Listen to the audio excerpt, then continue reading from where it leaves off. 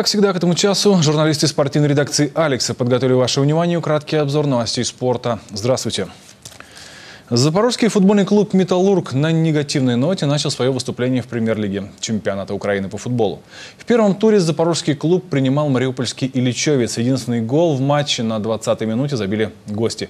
Проиграв стартовый матч, «Металлург» тем самым продолжает вести свою отрицательную статистику. Далее о других новостях спорта прошедшие выходные масштабными праздниками отмечали День металлургов запорожцы. Одним из таких мероприятий стала 14-я всеукраинская парусная регата крейсерских яхт на призы Героя Украины Виталия Антоновича Сацкого. В акватории яхт-клуба «Запорожсталь» на традиционное ежегодное соревнование заявилось 62 экипажа, это около 200 участников. Как отметили организаторы, подобных соревнований среди крейсерских яхт проводится в Украине не так уж и много. Однако все яхтсмены стремятся попасть на гонки, проводимые в Запорожье, что в первую очередь говорит о высоком уровне и радушном приеме на базе «Запорожсталь». 7 футов под килем и полный вперед. Таков был девиз каждого участника. В итоге победителями парусной регаты среди яхт своих классов с определенным гоночным баллом стали Днепропетровские Виктория и Оса, Интра из Никополя, Гетман из Энергодара и запорожская яхта Пилар. Также экипажи запорожских Аэлиты, Ольги, Матадор и Союз завоевали серебряные награды в своих категориях. Запорожские легкоатлетки покоряют все новые мировые вершины. Воспитанницы спортивного клуба «Металлург» Олеся Повхи и Мария Ремень, выступая на Всемирной универсиаде в Казани, завоевали золотые медали. Выступая в эстафетном беге, украинский квартет показал лучший результат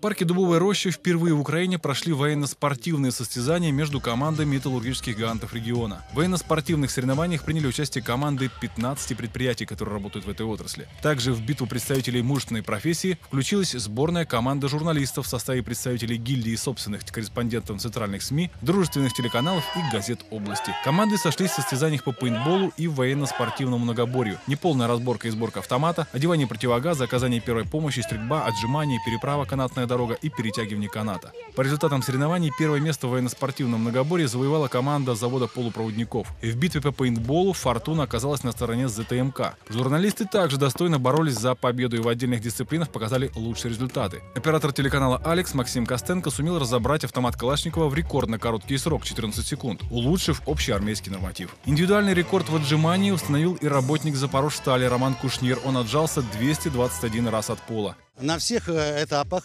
которые э, были э, предоставлены соревнующимся.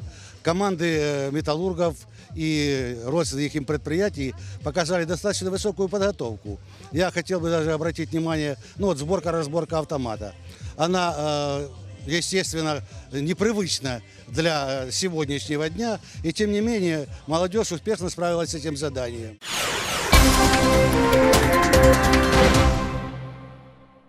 В Венгрии завершился очередной Кубок Европы Ю-21 по дзюдо. Этот турнир для украинских спортсменов является одним из этапов отбора в состав сборной страны, которая выступит на официальных стартах 2013 года, чемпионате Европы и чемпионате мира. Несмотря на солидную конкуренцию, воспитанник Запорожской школы дзюдо Семен Ракита в весовой категории до 100 килограммов завоевал бронзовую медаль. Поздравляем спортсмена и его тренера. У нас же это последняя информация выпуска. На этом мы прощаемся с вами. Всего доброго и до свидания. Партнер нашей спортивной редакции – страховая компания «Аранта Сич». Мы работаем для вас.